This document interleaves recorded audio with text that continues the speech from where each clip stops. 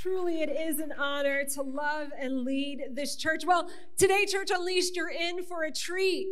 We're going to do some shotgun preaching. Do you even know what that is? It's basically you're going to get all of us today.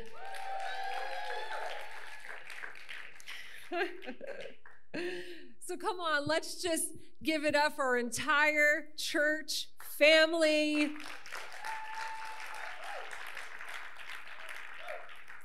All right, so today we're going to spend a few moments talking about the code 8 optional. Okay, I want everybody to say, This ain't optional. Let's say it one more time and say with more excitement, This ain't optional. Okay, so a code, what is a code? A code can mean one of two things it's either a secret language system or a law, rule, or guideline. Now, today we're going to smash kind of those definitions together, and today our code is our guiding language. Everybody say guiding language. Now, the code, it gives us direction, it gives us vision, it gives us clarity, but more than that, it gives us unity.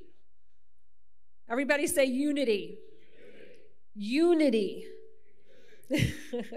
All right, First Corinthians 1:10 says this, I appeal to you brothers and sisters in the name of the Lord Jesus Christ that all of you agree with one another in what you say and that there be no divisions among you but that you will be perfectly united in mind and thought. We are the body of Christ, Church Unleashed, and we have a vision that is so powerful that what happens, it makes hell tremble. What it does is when you come united as the body of Christ, all of us together, we all have a target on our back now. When you say that I'm a follower of Jesus, you have to watch out because the Bible says Satan is out to seek, kill, and destroy. And what does he want to destroy more than anything else? Is the church of Jesus Christ. And so the Bible is very clear that we need to be united as one body with one vision because God has put us on Long Island to make Jesus famous. And the Bible says if there's any of you that cause division, mark them and have nothing to do with them. And so, what Satan likes to do, because he's so cunning, he likes to get you a little offended. I didn't like what the pastor said. That person didn't invite me to their party, and I saw it on Facebook. So, I'm not going to go to that church anymore. Whatever Satan can do to get you offended and get you not coming to church, he's going to do that. And so we as a body have to remember to become united because God has plans and purposes for all of our lives. And making Jesus famous is really the first one. And so today, I just want to reiterate those codes that we have here at Church Unleashed. Businesses have codes, hospital have codes, sports teams have codes. Restaurants have codes, computers have codes, websites have codes, and yes, God has codes. It's called the Bible, and it's our guiding language. And let me say this you know, people so often get offended, but you know what? When you read the Bible, it's offensive. Nobody wants to hear that they're a sinner. And so, but the thing is, is that sometimes you have to let those offenses down and say, God, is this really you? Or is this something from the pit of hell that's trying to distract me from the purpose and the destiny that you have given me? And so today we're going to talk about Church Unleashed, our nine codes that drive our church. Everybody say it. This ain't optional. So, code one, we make Jesus a priority. Jesus is the only way for people to experience heaven. We unashamedly preach, teach, and live Jesus. He is our purpose. God prepared heaven for us and sent Jesus to direct us there. You know, the Bible says Jesus is the way, He is the truth, and He is the life. And no man can get to heaven but through Him. And for people who are who don't believe that, that might be offensive to them, but that does not make it any less true. And so our job as Christians is to give truth in love. Jesus is the only way. For your neighbor, Jesus is the only way. For your family member that's far from God, Jesus is the only way. Church Unleashed, we only have a certain amount of time here on earth. And so we have to remember the greatest commandment that God gave us go and preach the gospel and make disciples. And if it's just Pastor Todd and I, that's a really hard task. If it's just the staff, it still is hard. But all of us together, in unity, in accord, we can make Jesus famous on Long Island.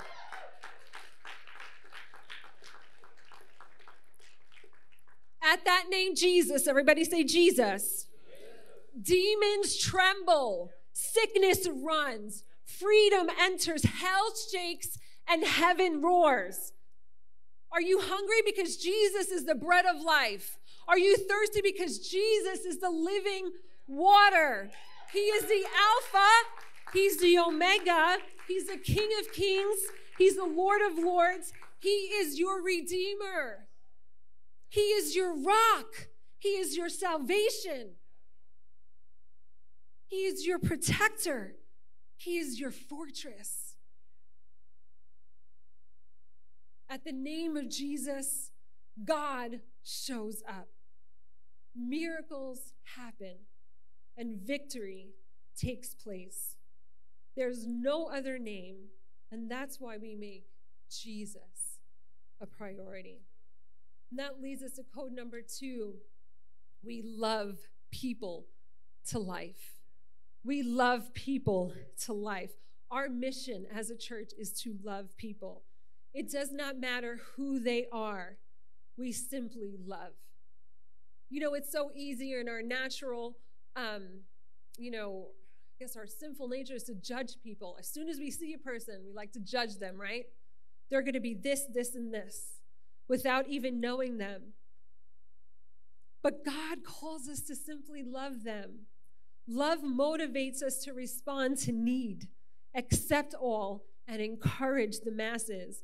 We love the bruised and the broken. We embrace the hurting, the neglected, the marginalized, and the ignored. We welcome the rich and the poor. We accept the fact that the kingdom of God is made up of every tribe, every nation, every language. And so, you know what? Because we're going to be worshiping and loving on God and loving in people in heaven, we need to get started now. And when people see your love for each other, the Bible says that they see God in you. We choose to love people, not the people that look like us, but that look like God. Who is that? Every person created in the image of God. We choose to love people, not the people who think necessarily like us, not those who act necessarily like us, but we choose to simply love. Listen to what Jesus said in John 13 35. It says this So I give you now a new commandment love each other just as much as I have loved you. For when you demonstrate that same love I have for you by loving one another, everyone will know that you are my true followers love people to life. You know, it's so easy when you're offended or when you're hurt, you know, to kind of blast another person. I feel like within the last maybe, I don't know, last year, um, there were some things in social media kind of blasting myself and and the church and so much in me wanted to go back and put things on social media and trying to defend, you know, our, my position or our position. But you know, the Bible says God is your defender. And so, whatever you may be going through in life, when you get offended by somebody or you get hurt by somebody, people are people. People are imperfect. People are going to hurt you. But you know what? God is your defender. Love them anyway. I love this poem by um, Mother Teresa. People are often unreasonable, illogical, self centered. Forgive them anyway. If you're kind, people will accuse you of being selfish or have ulterior motives, motives, but be kind anyway. If you're successful, you will win some false friends and some true enemies. Succeed anyway. If you're honest and frank, people may cheat you, but be honest anyway. What you spend your years building, someone will destroy overnight. Build anyway. If you find sincerity and happiness, they may be jealous, but be happy anyway. The good you do today, people will often forget tomorrow. Do good anyway. Give the world the best you have, and it may never be enough. Give the world your best you have anyway. You see, in the final analysis, it's between you and God. It was never between you and them. Anyway, boom, there goes the church. Here comes Pastor Matt. Our next code for today is we accept that life is short. Life is short. Eternity is real. This life is not the end. We're committed to live our lives on purpose and for a purpose. And how we live here influences who will be in eternity. Turn to somebody and say, Life is short. Now turn to your second favorite person on the other side and say, Life is short. That's what's up right there. Just taught somebody something. Psalm 90 says this Teach us to realize the brevity of life so we may grow in wisdom. See, we need to learn and accept how short life is and allow God to teach us throughout that or in that principle to grow in wisdom, to grow in everything that He has for us to be. So, real quick, let's get interactive. Raise your hand if you believe in heaven. That's good. Put your hands down. Raise your hand if you believe in hell.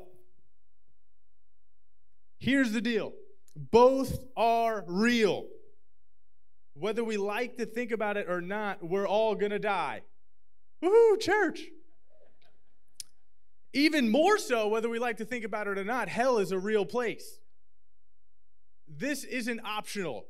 This isn't an optional belief where we can, I'm going to believe in heaven, but I'm not going to believe in hell. It's not an optional thing. See, we love to believe that heaven is real. That's fun. That's easy. That's exciting. That's streets of gold that you could see through it's so pure. You know, that's all the real great fun stuff. I once asked my dad, I was like, Dad, is there dodgeball in heaven? And he's like, Yeah, probably. And I was like, All right, I'm in. So, like, that, we love that. But we hate, we sometimes even refuse to believe that hell is a real place. Why? Because, man, I don't want to, somebody that I love could wind up in hell. Someone that I really, I'm related to could wind up in like, man, it's not fair. It's not fair. It's not fair. And I believe, and I actually agree that it's not fair. Here's what I think is not fair it's not fair that even though we don't deserve it, Jesus came and paved the way for us. It's not fair that even though we sin almost every minute of our lives, Jesus came and he suffered and he died for us to forgive us. That's not fair. It's not fair that human beings do everything we can to distance ourselves from God, yet he still draws closer and closer to us every single day. That's not fair. It's not fair that Jesus loved me so much, even though I don't deserve it. That is not fair. I think if, if we accept that life is short, We'll do everything we can to get everybody else to, to that same process. Because I think sometimes we, you know, we, we say this often as a church, you know, buildings are resources, buildings are vehicles, right? They get us from one place to another. They, they kind of help us to, to just go and do. My body is like, it's the same thing. My body's a vehicle that drives me from birth to eternity. And how I drive determines where I end up. My drive determines my destination. So if we accept that life is short, we will pay a lot more attention to how we're driving. How are you driving your vehicle? Are you committed to the journey that God has set before you, or are you constantly taking those detours of distraction? How are you driving? It? I would ever go on a uh, on a road trip. Come on, anybody have a road trip to Disney World, Florida? Not not Disneyland in California. It's a long trip, but Disney World. Road trips are are are the destination is awesome, but the journey can be torturous. Whether you're three, 13, 33, the road trip of 22 hours or 18 if you're some other people, it is difficult. But here, here's the deal life is the same way. The destination can be amazing, but the journey sometimes it gets tough. How do, you, how do you get there the quickest? You take the most direct route. Life, again, is the same way. We either get distracted on the detours or we know exactly where God has for us to go and our God designed, designated lanes. And don't forget this, this is important. No one likes to road trip alone. I mean, I could pull up to the entrance of Disney World by myself and I'll still be excited. you know what I'm saying? But like, if you're in the car and there's no one else with you, or, or it's just more fun and exciting and fulfilling when other people are along the journey with you. So if we accept that life is short, we will fill the seats in our vehicle. Matthew 7 says, Enter through the narrow gate, for wide is the gate and broad is the road that leads to destruction, and many enter through it. But small is the gate and narrow the road that leads to life, and only a few find it. Don't just settle for being the few, let's increase our few. Can we do that? Can we involve as many people as possible in this amazing faith that we have? Our next code we trust God always. So when we accept that life is short, we need this next part. We trust God always. Why? Because, man, I only have so much little time. I got to do what I got to do, blah, blah, blah. But when we trust God, the word works, and we work the word. Hebrews 4 says this For the word of God is alive and powerful. It is sharper than the sharpest two edged sword, cutting between soul and spirit, expose our innermost thoughts. The Bible is the most important tool that you have in your life, hands down. The Bible is the fuel of your vehicle. It's the fuel in your engine. It gets you from A to B. The problem with so many Christians today is that we we tend to look at our Bible, a Bible reading, and that devotion time that we have with God is more like a like a flippant Bible reading. Like, let me check it off my to-do list. Let me just okay, I got it done for the day. I read a verse. I'm good. I'm going to go with that. And then sometimes we wonder why it's such a struggle to reach our destination. May I suggest to you that it's possibly because we are running out of gas along the way. We need to dive into the word. When we dive into the word, we learn how to trust God in every situation. There's people in this room have been in so many different situations. So many maybe uh, dark times in your life that you've gone through, the most difficult times recently that you've gone through, challenging times that you've gone through. When you dive into God's word, you learn how to trust Him always. You learn how to trust in the worst times, but you also need to know how to trust in the best times. When you get a promotion, you're making more money than you've ever made before in your life, and you now have more responsibility than you've ever had. You also, that's a great time. You need to learn how to trust God in that time. It's not only about I need God when things are difficult, it's also about I need God when everything's great. I also need God when things are average. When things are just kind of ho hum, I need God in the midst of all that. And how do we get to that place of trust? Dive into the Word. Why? Because it's alive. The Word of God is alive and it is fresh. Every time you read God's Word, it comes to life. It speaks directly to your situation, your current situation, whatever that may be. We all have different, this is why I love God's Word. We all are in a different situation. There's like 200 situations in this room. We can each read the same passage and God will speak directly to our situation. That's how we know it's God breathed, it's inspired, it's alive, it's fresh. It's also hope.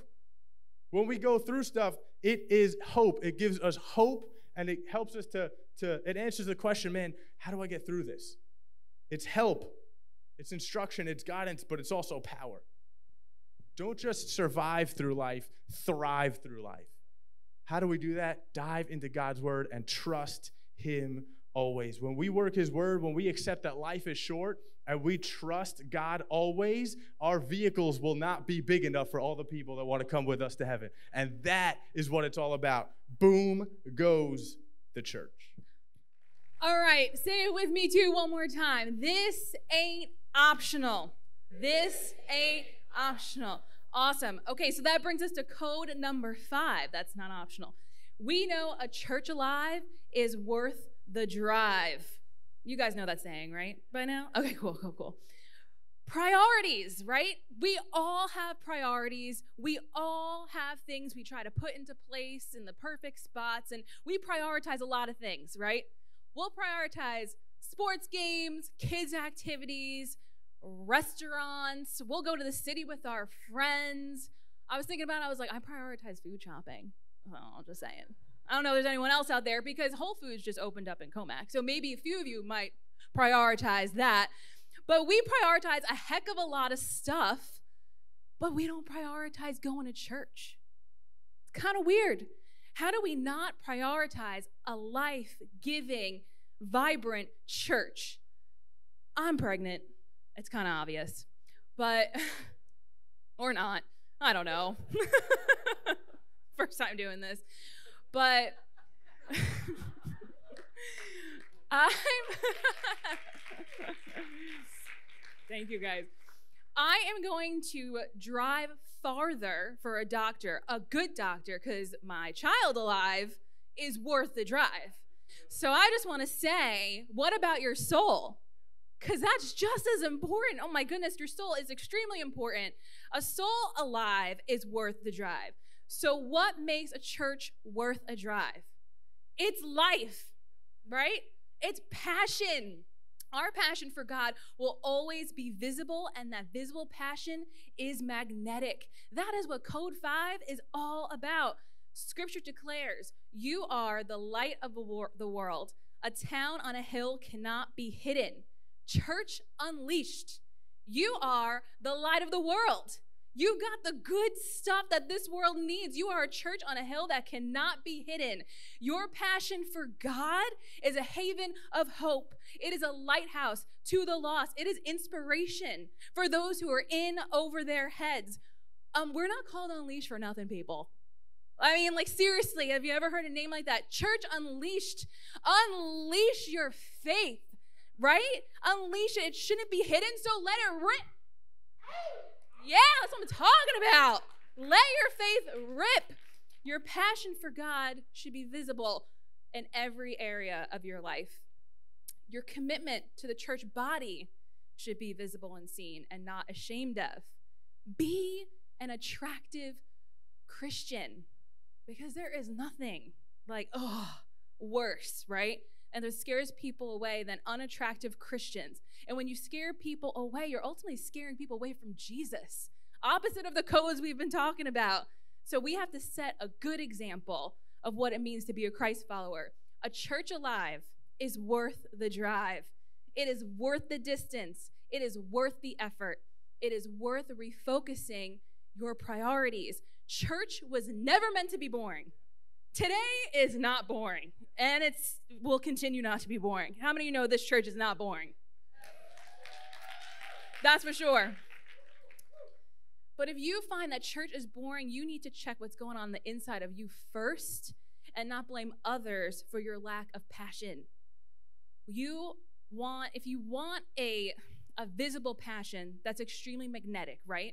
What do you do? Well, code five, your passion for God should be found in your serving. It should be found in your giving. It should be found in your church attendance. It should be found in your consistency and your commitment to God's word, in your integrity, in your growing maturity. When you do that, look and see how fast people will follow you to church, right? Because a church alive is filled with people who are alive. They are filled with life. Live like the church. The church alive is worth the drive. That's right. You guys are good. Okay, so within a thriving, alive church, you have code number six. We are building a culture of honor. Every person desires honor. So here at Church Unleashed, we honor up and we honor all around. But hear me when I say that honor is not earned. Everyone deserves honor the up and outer, like we're talking about, the down and outer, the rich, the poor, people in authority and position that God has placed there. people that we agree with, people that we may disagree with, or really, really, really, really, really disagree with, right? People of other faiths, thought, culture, lifestyle, no matter what the difference is, honor is never removed from the equation. God calls us to honor. But we're too busy honoring things that don't even matter sometimes, right? Like we'll honor appointments and we'll honor our jobs or possessions, but we miss what matters most people.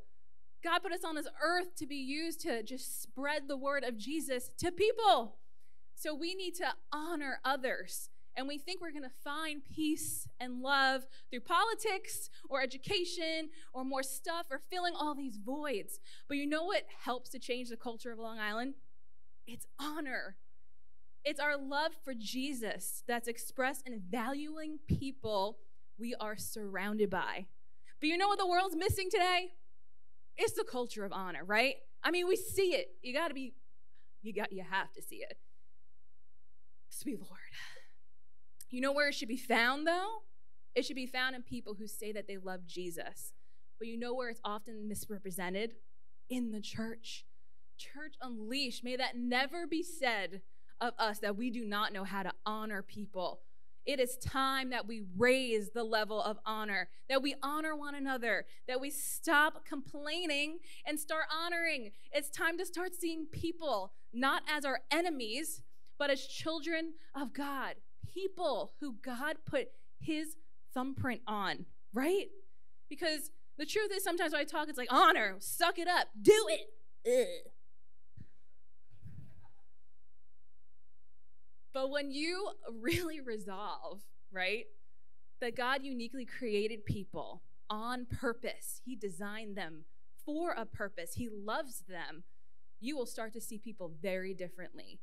You will treat people differently, say things differently, value them, and ultimately you'll honor God's creation because everyone is worthy of honor.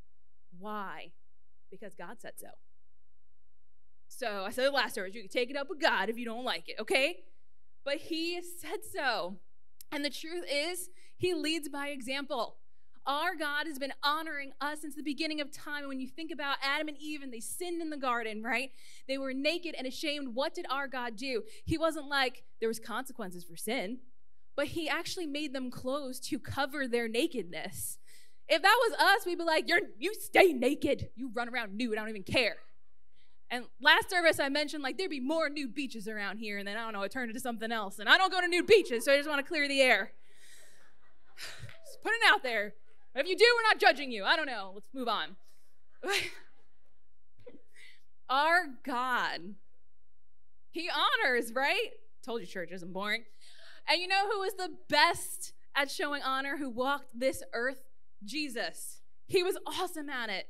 Love and honor go hand in hand. He honored everyone he came in, into an interaction with. It was our Savior who said, People will know you are my disciples if you love one another just as I loved you, like what Pastor Mary was saying.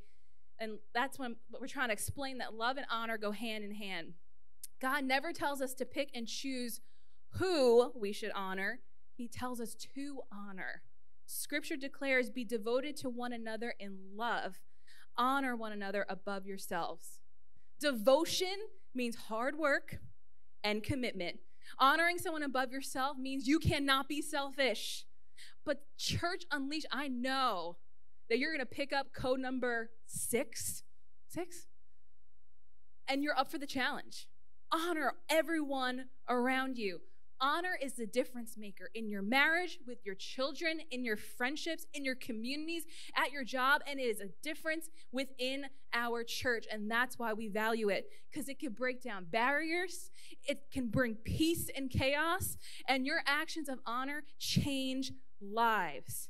God honors honor, and when you honor, you are ultimately honoring Him. Amen? Honor up, honor around boom goes the church. Uh, Gina. Woo! We now know what man Gina we're doing on vacation. Wow. We're going to have a talk about those nude beaches. Hey, look at somebody say, This ain't optional.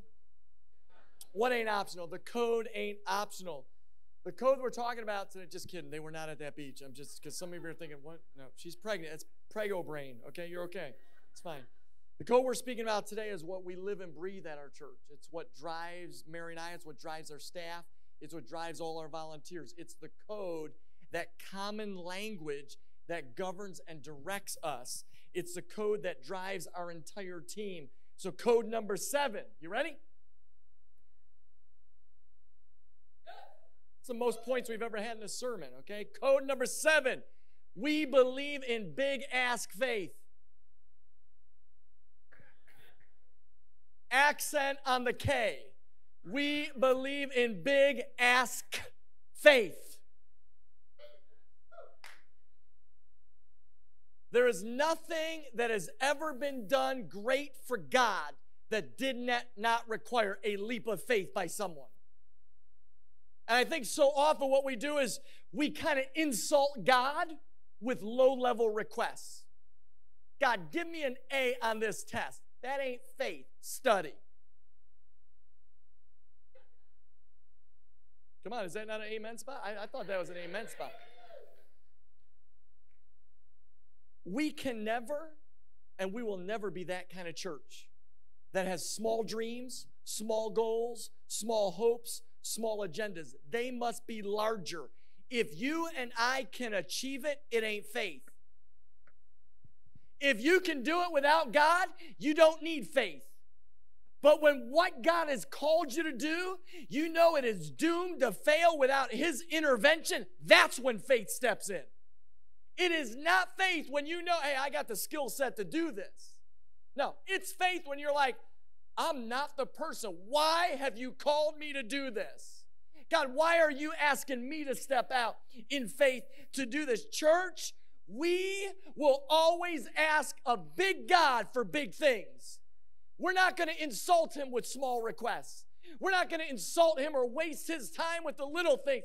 We want to say, God, we want you to do something big in our church, something big in every life, something big in every person. The Bible says this for anything we do that doesn't spring forth from faith is by definition sinful.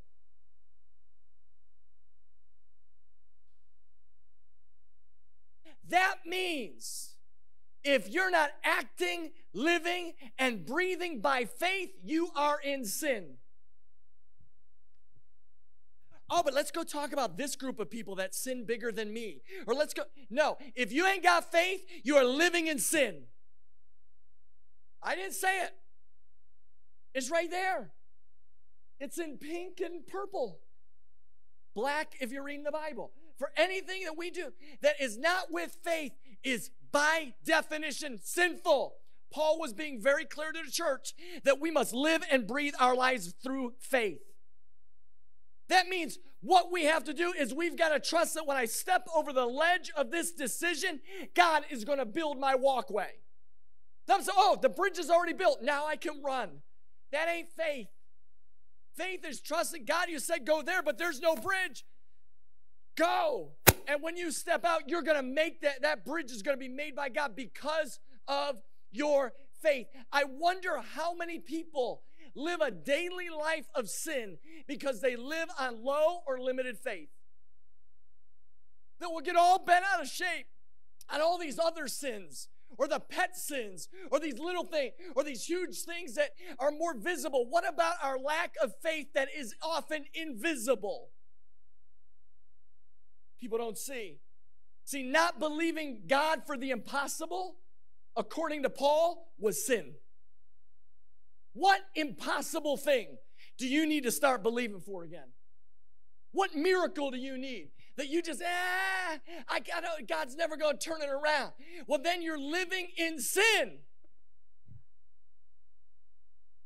Because when you say that it is impossible, you're denying the character of God. And when you deny the character of God, you've denied God. That is the highest form of sin. See, I believe that this God that we serve can do anything that he wants to do. There's not any limitation on God. There's nothing our God cannot do.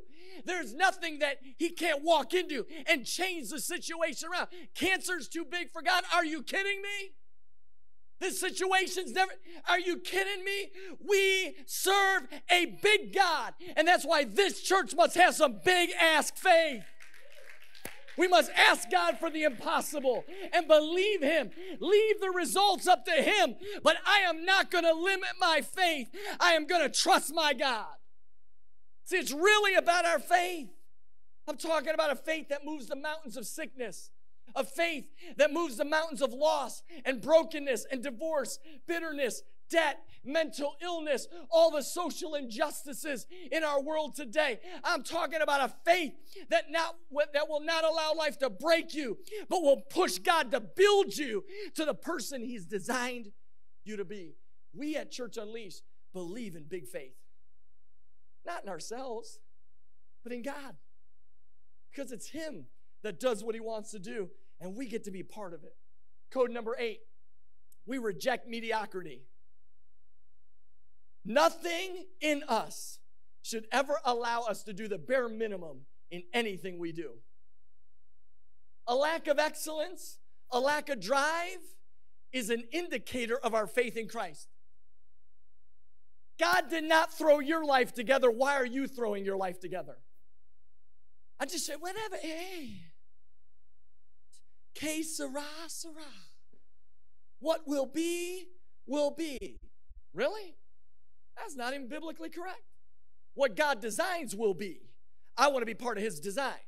Oh, it's just. I mean, she's talking about new beaches. It's just whatever will be, will be.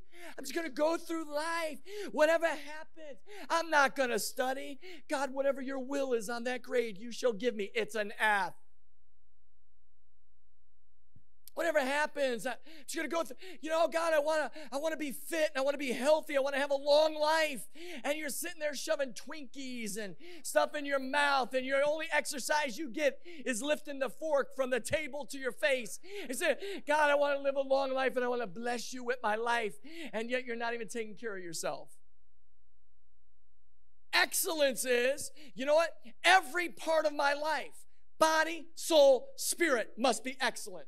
I must be excellent at work. I must be excellent at home. I must be excellent at church. I must be excellent in how I carry myself with people, how I talk to people. God, we must reject mediocrity.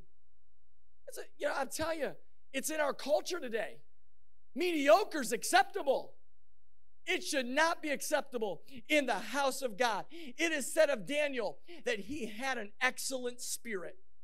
He can only bring his very best every single time. The Bible says it this way soon, by his extraordinary spirit, Daniel distinguished himself among the other administrators and satraps. So the king planned to set him over the whole kingdom. What did the, what did the king see? A spirit of excellence. He didn't see a spirit of mediocre. Some of us wonder why we don't get the promotion. Well, we're lazy. Amen, Pastor. Thanks. Are you telling me to work harder? Yes, I am. Am I telling you to set yourself so that you show the excellency of God through your life? Yes, I am. Am I telling you that you ought to do your job with excellence at work? Yes, I am. Am I encouraging you to reflect your holy God who excellently put your life together? Yes, I am. We must live a life of excellence. We must reject mediocrity. Do you bring God your best or do you bring Him your leftovers? Too often we bring Him our leftovers and we treat God and you just take His name and rearrange it and you get DOG. We treat him like a dog when we bring him our leftovers. God is not a leftover kind of God. He deserves the first and the best in everything that we have. See, we want to bring God our best at Church Unleashed. We want to leave it all on the field every single time we're together. We want to die empty. I do not want to go to heaven with dreams that I did not accomplish. I want to die with every dream that God put in my spirit, every hope He has for our church, our family, our lives. I want to make sure when I enter into heaven, I die empty. I do not want to take dreams with me to the grave. I want them to be realities. I don't want to stand before the Lord and say, I dreamed of this, God. I want to be able to say, God, I did this for you. I lived my life for you. I served you. I gave it all. Church, if we all gave it all, Long Island would know Jesus.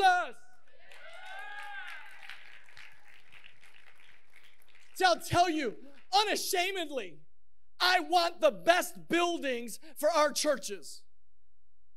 I want the best kids programs. I want the best youth ministry, the best dream team members, the best volunteers, the best worship, the best services, the best preaching. We at Church Unleashed will not settle for mediocre. It is an insult to our excellent God. I want to make sure we bring our best. It is not in our DNA to be average. Let's set our standards higher. And then, last, before I lose my voice, code number nine we are not for everyone.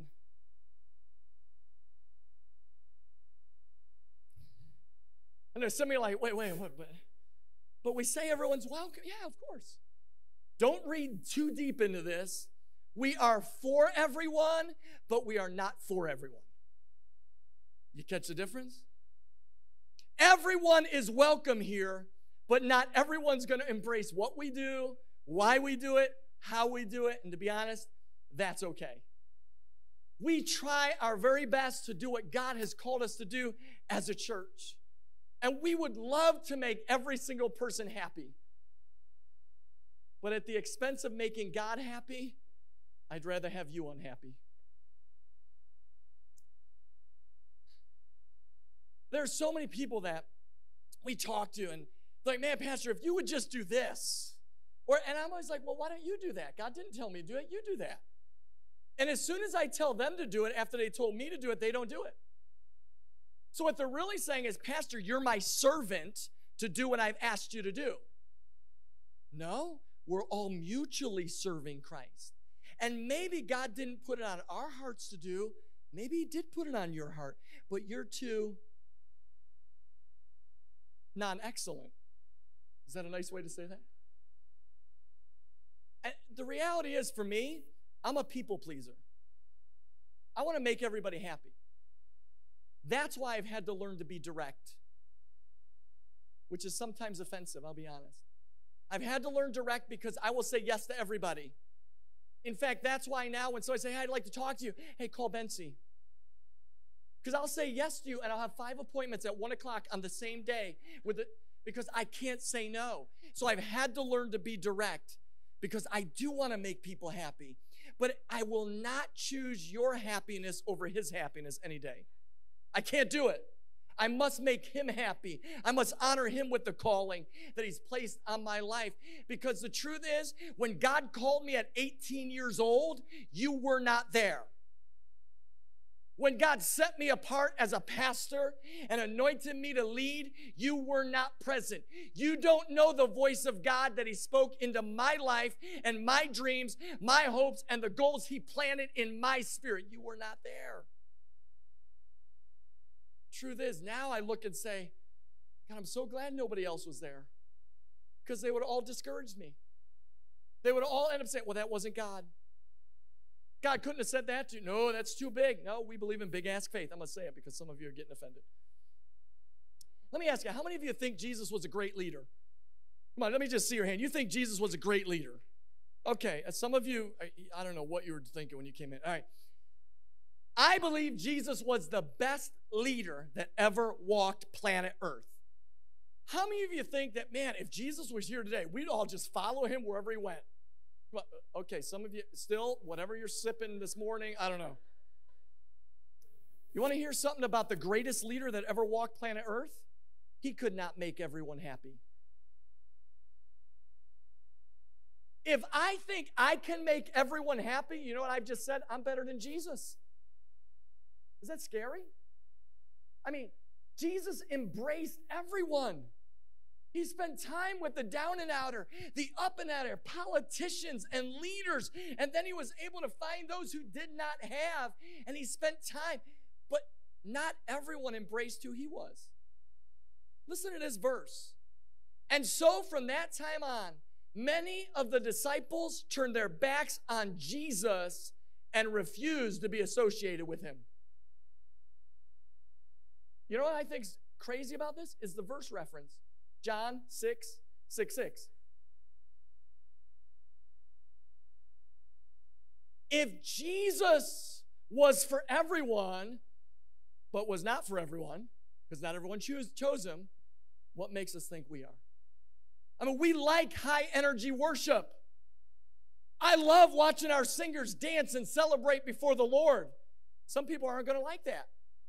Some people are going to be used to this.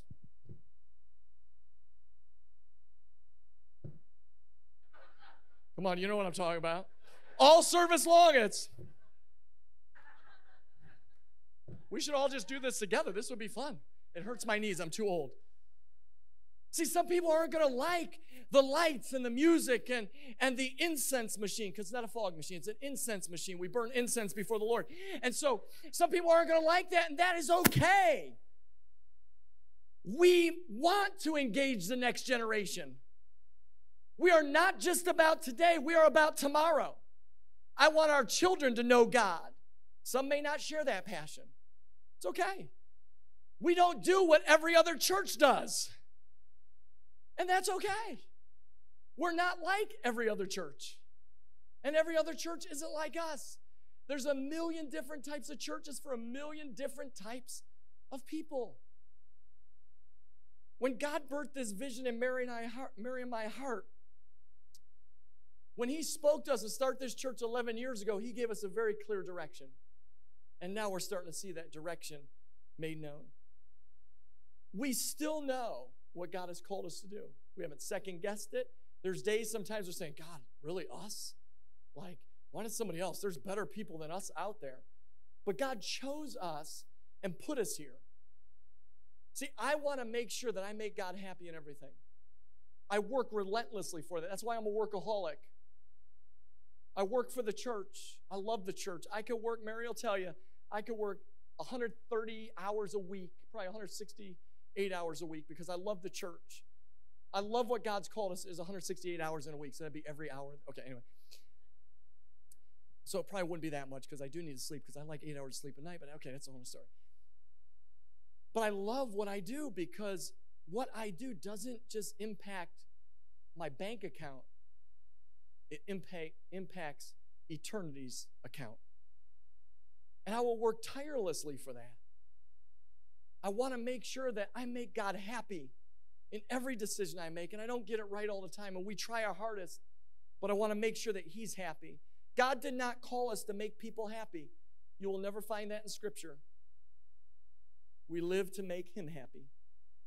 And if we live to please an audience of one, at the end of our lives, we could say, I fought a good fight, I finished the race, and I've been faithful. Boom goes the church.